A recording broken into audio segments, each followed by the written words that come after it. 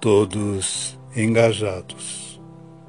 Por Bezerra de Menezes, psicografia de Chico Xavier. Amai os inimigos, disse-nos o Senhor.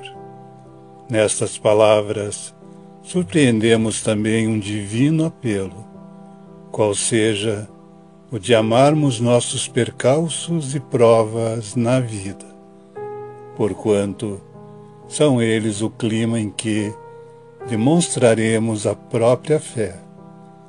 O sol projeta luz, dissipando a sombra. A caridade é o amor divino a expressar-se através do coração, extinguindo os espinheiros do sofrimento. Achamo-nos todos engajados na luta do bem para que o mal desapareça.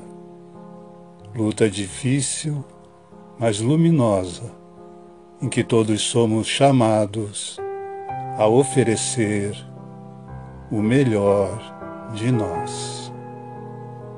Assim seja.